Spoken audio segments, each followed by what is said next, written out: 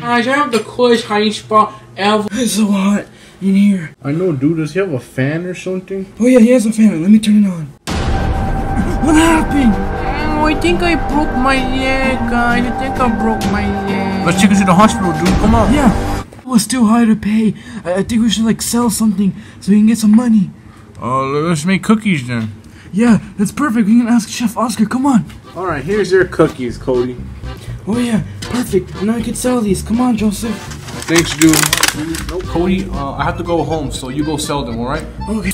Hey, Mister, would you like to get some cookies? They have special vitamins in it that makes you more stronger and get you more energy. Fo, this is a lie, dude. Those look like cookies, folks. $50 You, each. you must be kidding. Fifty dollars for a piece of cookie, dude. Yeah. You know, you know what? You know what, fool? I can buy one at the 99 cent store. Yeah, I'm not buying that cookies unless unless they make you better at Fortnite. Hey, Mister, Mister. Yeah. Do, would you like some cookies? Cookies? Fifty dollars each. Fifty dollars for a cookie? Yeah, they have special chemicals inside, and and they make you faster and stronger and better at Fortnite. I know a guy who can make who can be happy. Uh, let, me, let me just go call him. This is the kid who sold me those cookies for such a high price, but they make you better at Fortnite. Oh, dude, give me all of it. How much for all of it? fool? Oh, two hundred fifty dollars. Can, I, can I pay you like tomorrow, fool?